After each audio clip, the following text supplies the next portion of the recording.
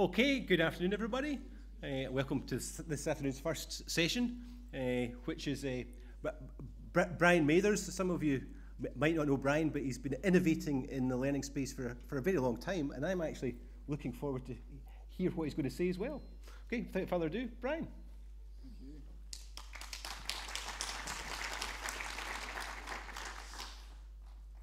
Thank you. Um, when Maren uh, asked me to come and speak at the ALT conference, um, I was really pleased. You know, um, technology, innovation, that's my sort of thing. Um, and so I thought I'd look up the website to see, um, you know, who's speaking and, and, and whatnot. And I noticed the, uh, the, the conference was called Riding Giants. Um, and I realized then that Maren really only invited me to be a mascot uh, for, for, this, which I'm happy to be, really. So it's, uh, it's with that thought that I, I, let me just give you the bluffer's guide to me.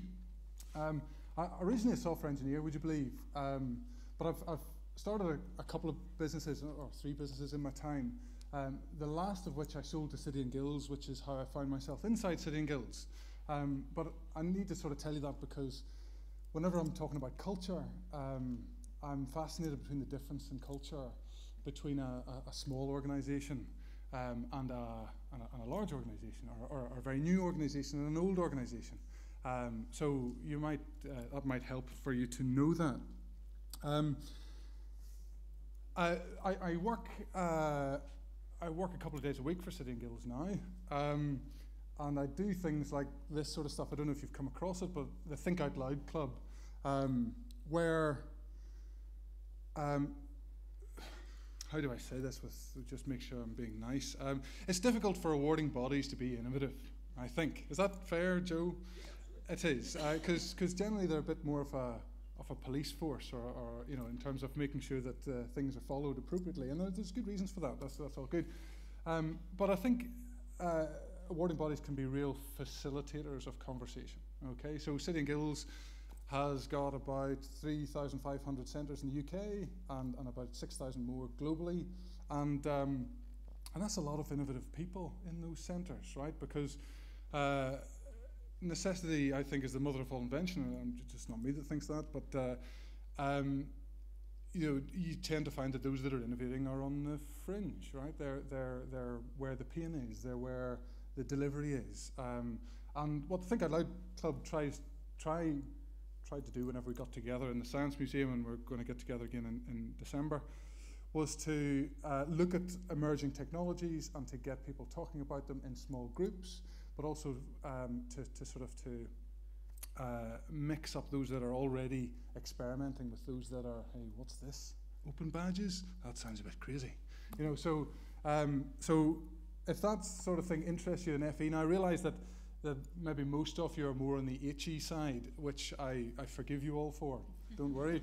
Um, but if, if, if on the FE, if you're interested in, in sort of looking at emerging technologies and sharing, uh, you know, with, with other people, then, then please jump on board our, our Google Plus uh, group, in which that's well, that's what we do, and we try to have hangouts every so often to, to, to get that conversation going, um, because I do not think that learning technology is a bit of a, um, you know, I don't know what quite to, to sort of draw a parallel with, but you sort of need to know the buzzwords, you know. So if you're going to talk about open badges, you sort of need to know a few things to just be able to throw into conversation. Uh, you know, oh yeah, open badges, yeah, I know, I know what you're talking about there. You know, uh, learning technology is very like that, and, and um, but that that means that there's a whole bunch of people who are saying stuff but don't really know anything about it, right?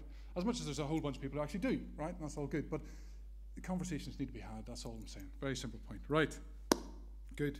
Um, this is one of Bob Harrison's thoughts because some of the other stuff that I do uh, is on the FELTAG side of things. And uh, not that I did as much work as uh, Maren here, or indeed Bob or Nick, who's up at the back there, or Diana. Um, uh, heavyweights of the, uh, if I can call you that, Bob, um, of the.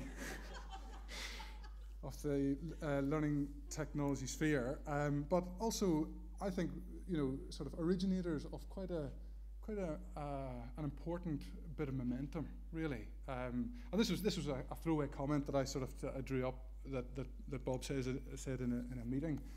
You know, in terms of um, you know where is further education on the on the digital continuum, and and uh, and if he didn't say it was just about you know about there, but if it is about there, why is that, and what can we do to change it? What can we do to to to turn up the dial? Um, and that's really where what what FELTAG I think has been trying to to address um, and to look at well what what are the recommendations that we can grab um, and that we can put to ministers or even just put out there to the sector, um, you know, to drive these things forward. And it's great to see that there's a few uh, FELTAG um, sessions being had. I think they're tomorrow, uh, which is all good. And um, and it's great to see some institutions just grabbing that and getting on with it. Uh, that's the way forward as far as as far as I'm concerned. So look, FELTAG came up with a whole load of stuff. Don't expect you to uh, um, to be able to read that. But if I was a uh, if I was an HE institution, I would be testing you all at the at the end of the lecture, but I'm not going to do that because I'm friendly FE. So, um, but uh, FELTAG said a lot. There's a lot of recommendations in there, but there's just two two of the things that sort of kept coming up, which are pretty obvious, right? But um, that I just want to focus on today, right? And um, number one is is, is culture, right? Um, and uh, as I said before, I'm, I'm fascinated by culture. I'm, I'm fascinated that um, uh, in a small business context, if you add one more person, the culture changes, right? That person brings stuff to your culture and it changes, right? In a, in a, in a big organization, you add one more person and they conform to the culture that's already there, right? And, um, and therefore, changing a culture uh, uh, in an educational institution um, in any institution, I think, is really difficult. Right? In fact, look at Ofsted and how they change a culture uh, successfully in a school. They'll generally knock down the school, you know, build a modern school. Uh, all the pupils are pretty much the same, right? But different management and most of the same teachers.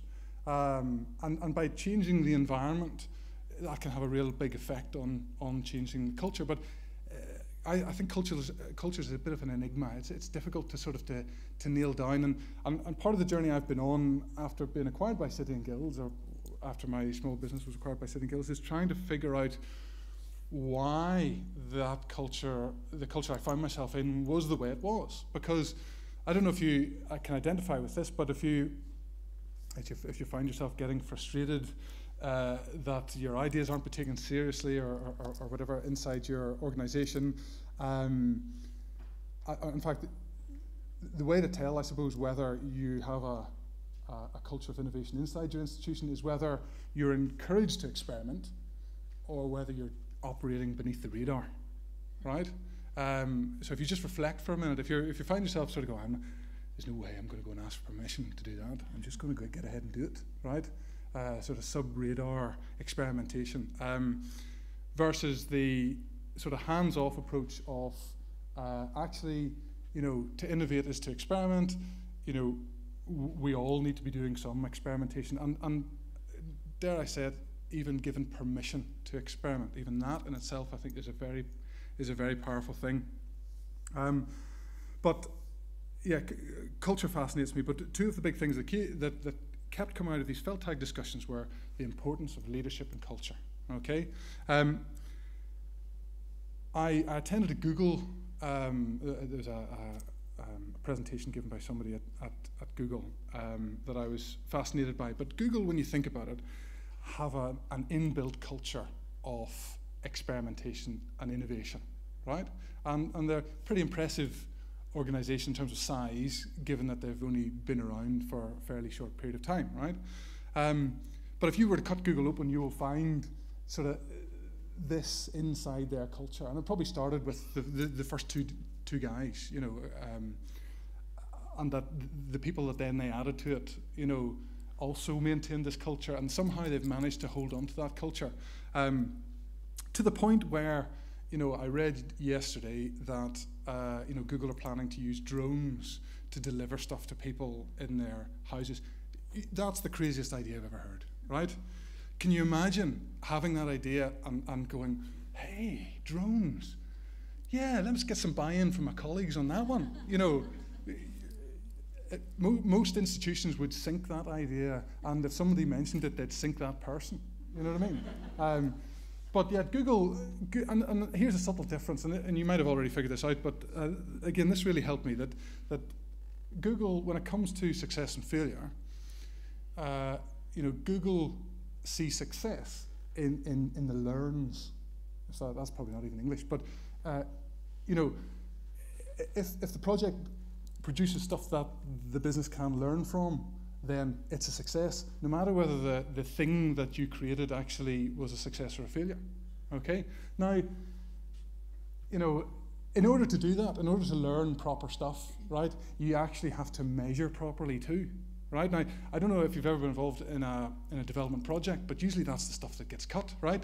You know, you're trying to build something, it's MVP approach, you know, uh, and and you get to a certain point, and it's just like, right, well, off goes the help. We're gonna have to write that later, and uh, you know, any, anything that's going to sort of measure uh, is also right. We don't need that now either. We can we can do that later. But of course, you're not going to get uh, the learns if you don't put in uh, the measurements, and that's a pretty pretty big difference really to to my experience of, of of these sort of things because even if you are operating, you know, in a in a, in a relatively agile uh, you know frame of mind if, you're, if the business wrapped around you isn't, you know, budgetary cycles, uh, you know, sort of project managers with waterfall models and Gantt charts and critical paths, then, you know, you're, you're, you're going to go, hey, we just put our product out and we've just measured that, you know, this whole idea, totally wrong. We need to go in that direction. Well, you know, you're going to get shot, you know, rather than, hey, that's great. Well, great, we learned from that. And now we know the direction that we need to go on. Okay? So culturally, I think um, having that in your core is, is, is pretty important. And I think we can learn from organizations like Google. Um, I, moving on from that, I, I uh, this is a bit of a, maybe a silly slide. You know, what, what, what culture would you prefer for education? You know, a, a performance culture or an innovation culture? And, and, and your response is probably, Bryan, come on, don't be so silly. You can have both, right? Uh, well, it's one of those things about culture, I think, uh, um, that, that your top priority sort of dribbles down right throughout your organization. Okay? So if your top priority as an education institution is performance, uh, then, then, then that will have an impact right throughout your organization. Okay? And even though I would suggest that if you had an innovation culture that that might breed performance too, um, if it were me, I would put innovation as the, as the top priority. And this, and this is why. This is why. Because um, I, I am an exam passer. You know what I mean? I, I, you know, I sort of figured it out around sort of GCSE.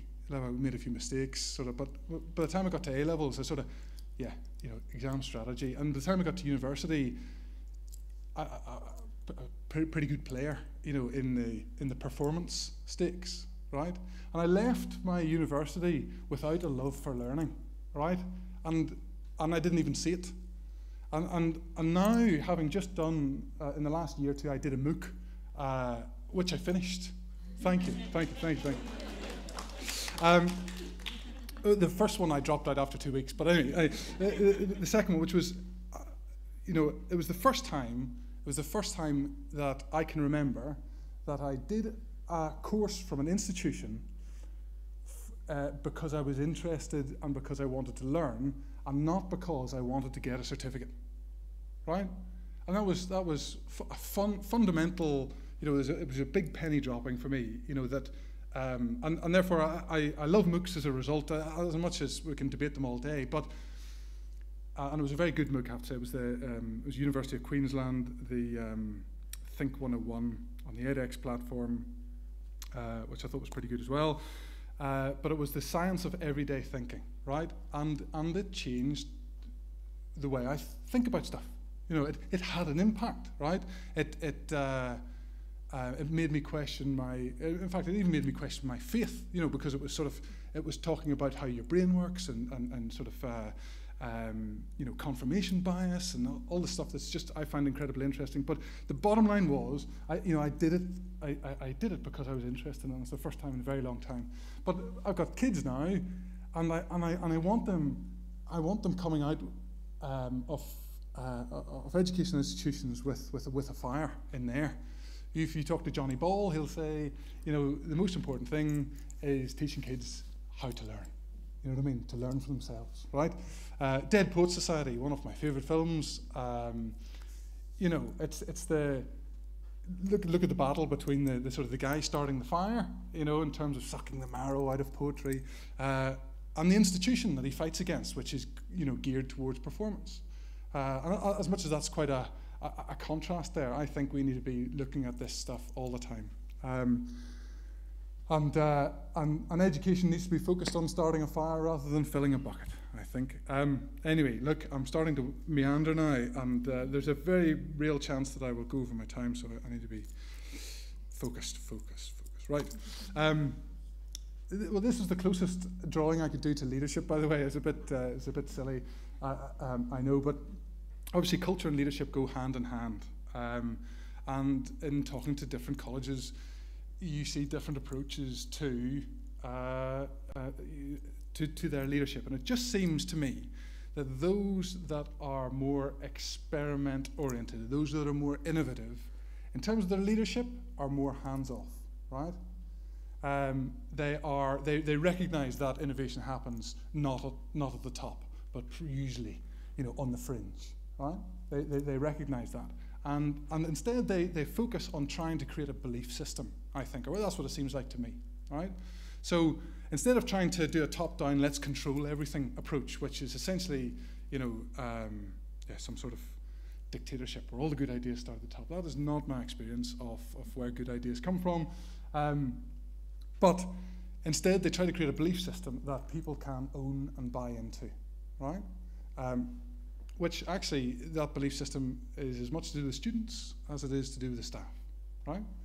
Um, and therefore, I, I, think, I think that's what good leadership does in, in, in the FE space when it comes to technology, okay?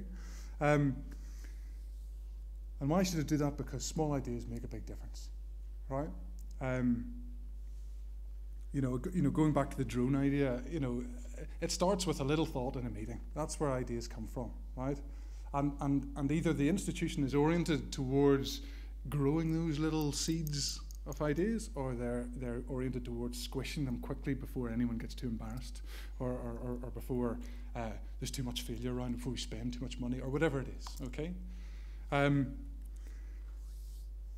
and I suppose this leads me to, to my, my, my proposal to you, which you can laugh at if you want to. But um, when I went down from working five days with City and Guilds to four days to, with City and Guilds, uh, but essentially it was about a couple of years ago, and I and I had I had a few things I needed to think about, a, a few itches I needed to scratch. So I, I thought, right, I'll go down four days a week. I'll take one day and I'll spend it in my man shed, right? Now my man shed's is a proper space for contemplation, right?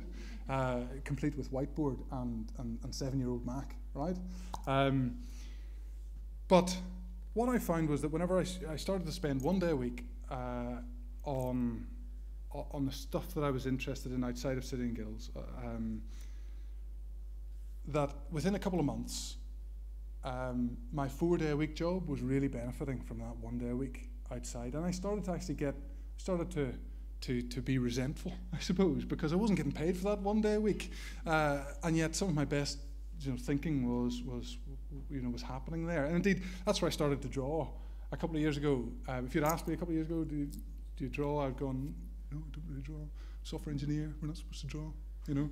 Um, and and yet it's radically changed how I work, right? Because I'm always trying to think how, how what does that look like?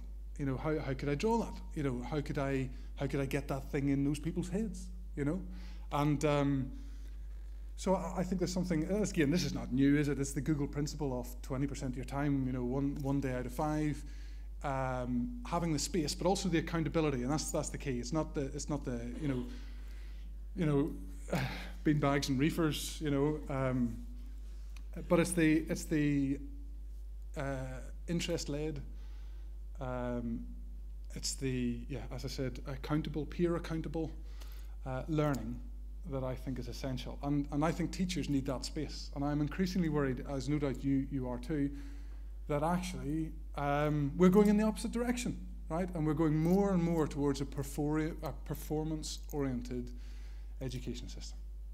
And I don't think that's good enough. And as you, uh, you know, masters of this realm as you are, um, well, maybe we can do something about that. Um, so what I'm proposing, I suppose, is that is that actually, whether you're in business, whether you're in university, whether you're in an FE college, you need space to breathe. If you don't have space to breathe, then see getting up with the latest learning technology or figuring out what's right for you in your classroom setting or whatever else, that's not going to happen. Or it might happen in your Sunday nights when you should be watching Downton Abbey, or I don't even know if Downton Abbey's on a Sunday night. Anyway, it's all live streaming these days, isn't it? Um, anyway, I will move on. Um, so yeah, a picture says a thousand words. I find that this is one of the most effective ways of, of saying something. Okay? Um, or of getting an idea off the ground, and I'll, I'll, I'll get onto that in a little minute. Um, you know, to try to picture what it looks like and to have a good enough representation of that that somebody looks at it and goes, aha, I see what you're saying, right? If you've ever tried to get an idea off the ground and you're a bit geeky, right, and, and you've gone to someone who, and you're, and you're like, this is the best idea ever, and they, they sort of look at you with those eyes going, I haven't understood a word you're saying, you know, uh, yeah, that's all very well. Yeah, thanks for that. Yeah, and you know it's never going to go anywhere. Well, um, you've got to look at three minutes. Goodness me, you've got to look at other ways of uh, a, of communicating what it is you're trying to say and communicating your idea. Whether that's telling a story, and this is an animation that we put together in terms of what learning might look like in 2020. You'll notice I'm speaking faster now, um, or indeed, this is the non-profit that I've set up in, in my, in my part-time in terms of getting young people into uh, digital jobs, essentially by, by, by taking them on, by, by boiling stuff down over a period of time and trying to get it on a one page, right? Um, or whether you are evangelizing. You know, open badges, I'm a big fan of open badges. You know, decentralized education, what more do you want? Um, unless you're an institution.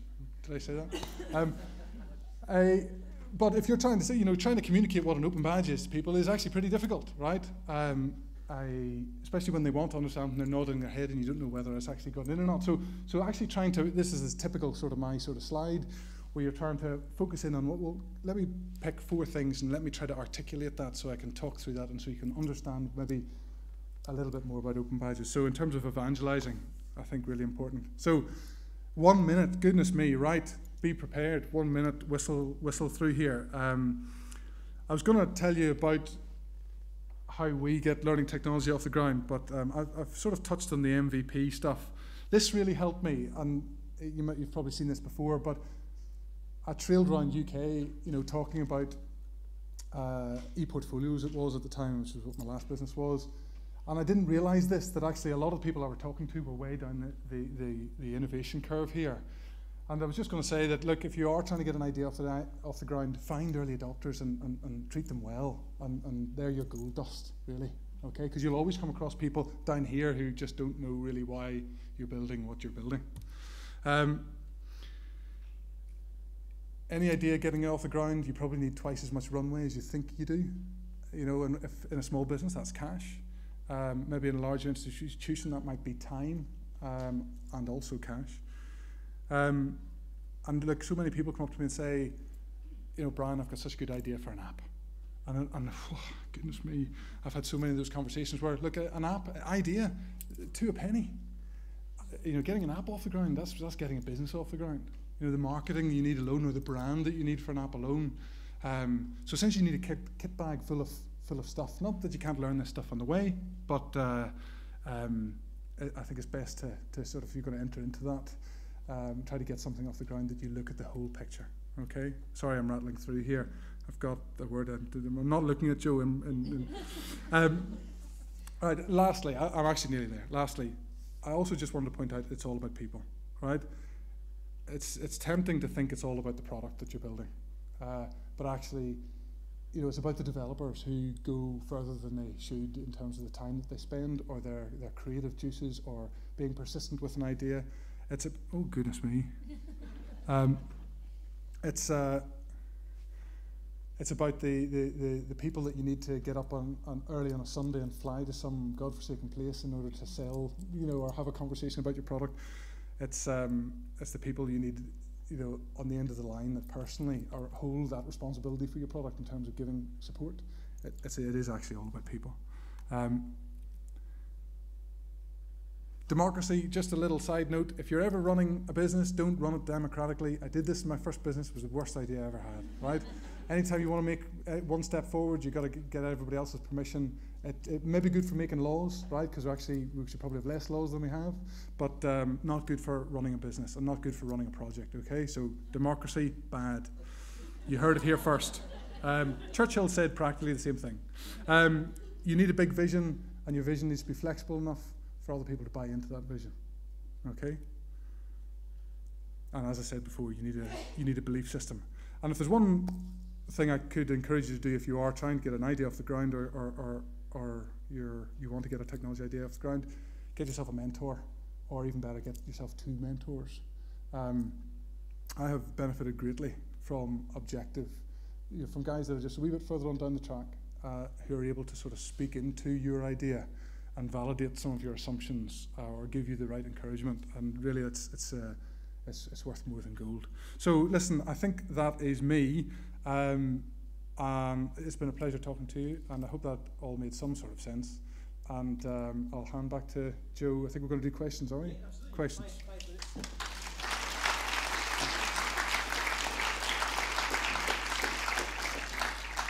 Thank you, Bryan. There should be a there should be a roving mic there. Any questions for Bryan? Gentleman there. Gentleman, you, Martin, you got the mic. The microphone. Um, great, very woke us all up after lunch. Thanks very much indeed. That's great.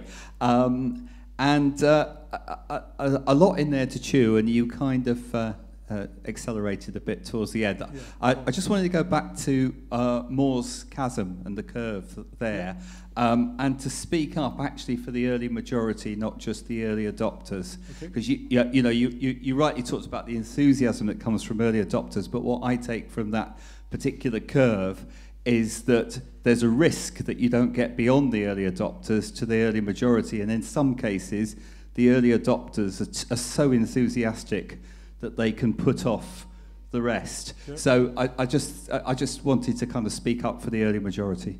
Yeah, I, I think that's totally valid. I think that's totally valid. Got questions?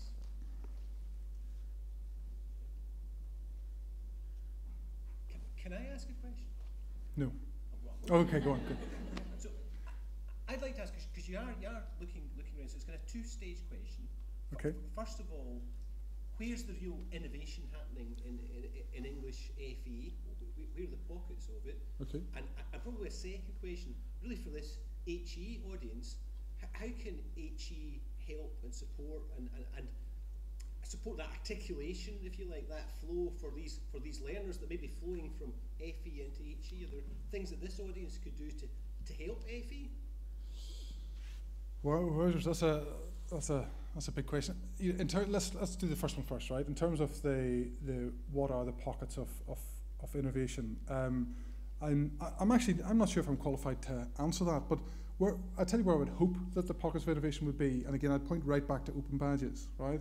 In terms of, I, I know there's the organisations are tinkering with it. In fact, uh, you told me you're tinkering with it, which is good, which hopefully you'll mention in your talk. Um, I, I just see so much potential, and, and obviously because uh, open badges is such an emerging technology, I suppose, it, it is a long way from its tipping point. You know what I mean? Uh, and so it needs institutions of all types to get on board. It needs employers to get on board, but but uh, it definitely needs um, it definitely needs both HE and FE to get em- involved, but to also to start innovating. You know, and I, I think um, if if the world's going to start, you know. Uh, conjuring up badges left, right, and centre. Well, I think we need to educate the world in terms of what makes a good badge and what doesn't make a good badge, or or what a peer assessed badge, a solid peer assessed badge might might look like, or, or the mechanism that might sit behind it that's robust, or you know what makes good evidence that gets attached to a badge, or and that's our world. You know what I mean in terms of HE and And I, think we should be leading that. Um, and, and I wonder whether we will be, uh, really, is, is, is, a, is a point. I, I know that you're a great advocate of, of open badge yourself, Joe. I'm not just saying that just to make you feel good. Um, now, what was the second part? Uh, the, the what, ca, what can How HE? HE help? Um, I have no idea. I have no idea. I, I suppose I'm, I'm, I'm trying to. Uh, I'm not good at appealing to institutions per se, but maybe to, in terms of individuals, um, you know, and, and even just stepping out there in in the space where you're in, with the ideas that you have, you know, and, and have a little bit of confidence in terms of being able to do your part. Really, uh, so maybe it's not an appeal to an institution or institutions at all. It's it's to it's the individuals because that's where the real the, the real help comes from. You know what I mean? Or the real innovation comes from. And you yourself, being an innovator, Joe, know that, right? One was a two more questions. We'll squeeze them in. Gentleman there and a lady there. Gentleman there. Take, take you first. Just the microphone's going to get to you fast, isn't it? Hi, Bryan. Um, I just wanted to sort of say um, uh, that I'm what you were talking about is very close to my heart as well. I'm very, very interested in um, organisation culture and also this idea of innovation, both in cultures and in education. Um, and not really a question, but just sort of saying that only very recently we've taken a slightly different approach to um, a piece of development in our university. Um, and we've completely ignored management and we've just gone and done some secretive stuff. We're, we're, cu we're currently under the radar at the moment, I'm right, working good. on that. Um, but well no um but it's um it's made we've only done sort of two days but the the change in the way that the developers were working was just it just amazing. Like the the, the motivation was palpable, really, and um, just that it's it's so important, um, and yeah, we sort of need to need to see more more evangelists like you, really. well, well, well, listen, look, um, I think you raise a good point though as well that um, as much as you can try to just do stuff under the radar, eventually, uh, you know, if you go against the the uh, hierarchy, you, your idea will be shot down. You know what I mean? So, so as much as I'm all for under the radar, you need to have enough you know, sort of enough momentum and then to sort of to, to have a twin track approach of, of making sure that there are people who will think it's their idea whenever you spread it with them, if you know what I mean. Uh, I think it's selling the benefits really. Like I think the, the, the difficult bit is is providing that proof of concept to say, look, we can do something really cool here, yeah. um, and then and showing them why why we need to do more of it. Well, well look, look, most people I think are inherently good, you know what I mean, um, but often can't see. You know what I mean? And, and listen, look, we spend our time trying to communicate to all sorts of things, all sorts of people. So, you know, focusing on the articulation of the idea, and part of that is getting something up and running, is a really good way to articulate what it is. Uh, so, quite right. Sorry, yeah, sorry, yeah. Um, so you mentioned whether institutions should be innovators or performance driven. Yeah. Um, I think a key part of that is educating our customers, because of course in the past we haven't had customers, whereas now we do. Mm. And I think the natural tendency is to move towards a performance kind of focused model because yeah. you know students are paying up to nine thousand pounds, twenty seven thousand pounds for a three year course yeah. to come to university, and so to some extent. To get an innovator focused institution, you also need to educate the customers and tell them that's what they want. Yeah. Whereas without it, then the tendency is to focus on performance. Yeah, I, th- I think that's two, a very solid point, actually, because I, and I use myself as an example where I just thought that's the way it was. You know what I mean? And, and, and I was doing a degree to get as high a mark as I possibly could in order to get a job. You know, that, that so I, I, I needed to, to sort of to get back to where Bryan was and, and educate that guy. So it's, it's, it's, it's the system as a whole. You're, you're absolutely quite right. Um, that, that needs to really realise the value of that, starting that fire, the value of loving learning, really. Quite right. Well, can I, can I thank you for being inspirational as ever? Oh, thank you. Thank you. Thank you.